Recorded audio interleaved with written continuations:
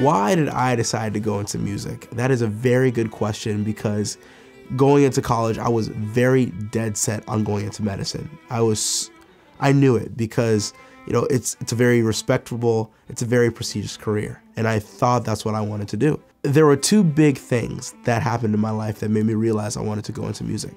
I was auditioning for this competition that Yo Yo Ma had, and if you win, you get to collaborate with Yo Yo Ma. Now, I didn't win the competition, but I did get second place. Um, and Yo Yo Ma said that my music was inventive and unexpected. And it blew my mind because that's exactly who he is. He's an inventive, unexpected musician. And I've really always enjoyed his, his creativity. So for him to say that about me, and I just kind of did this thing off the cuff, you know, it meant a lot to me. The second big thing that happened was during my junior spring. I um, was opening this concert for uh, a big musician named KRS-One. He was um, kind of one of the big old school rappers, and I I was um, doing some work with one of my friends um, who's a rapper, and we opened the concert together. And KRS-One came to us. He said that if I continuously do this type of music, there could be an opportunity for me to change the way people see hip hop or classical music. And that was a very, very big statement. You know, it's not something that I thought about when I was doing this cello beatboxing thing. It was just something that I kind of did for fun. And so, you know, I, that spring break of my junior year, I went to breakfast with one of my closest friends who uh, was MD PhD at Yale. And I was asking him as a mentor, you know, what do I do? Because I love cello, I love beatboxing, I love putting the two together.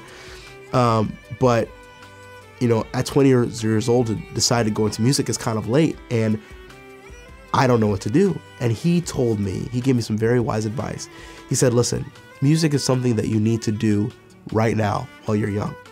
You know, medicine is something that will always be there. You can always do it. You can go back to medicine when you're 25, when you're 26, 27. But if you want to pursue music, do it right now. You know, so after that conversation, I actually went back into my dorm and I got into the library and nobody was there. No, nobody was there. And I got down on my knees and I said, God, I think you're absolutely crazy. I don't know why I should do music, but I feel like I'm supposed to do this. Um, and from that moment on, it was as if a can of worms opened and I knew I couldn't go back on my word. I had had to do music. And how do you pursue music?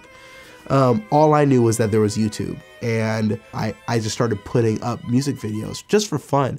I mean, playing cello and beatboxing at the same time. And, you know, I continuously did that while I was living in China, and I start, started working on this piece called Julie-O um, by a guy named Mark Summer, And it was my first endeavor putting cello and beatboxing together in a full piece. And I worked on it throughout my whole senior year of college because it's just it was that difficult for me to really figure out how to make this piece cool and to do both of them at the same time. But my senior spring, I actually put up a YouTube video of me doing it and it started going viral on the internet. And it was cool because that was the thing that got me kind of started. It was the catalyst for how I met Pentatonix. Scott found me from that video. You know, how I got to tour with Gungor, um, how Quincy Jones found me. Um, and it was really a stepping stone. And I love the fact that it got me to this place. So it's such an exciting process. And I'm really happy that I decided to go into music. Because of it, I think I'm a better me. I think I'm gaining so many more skills that I, I, I wouldn't have gained in other careers for myself personally.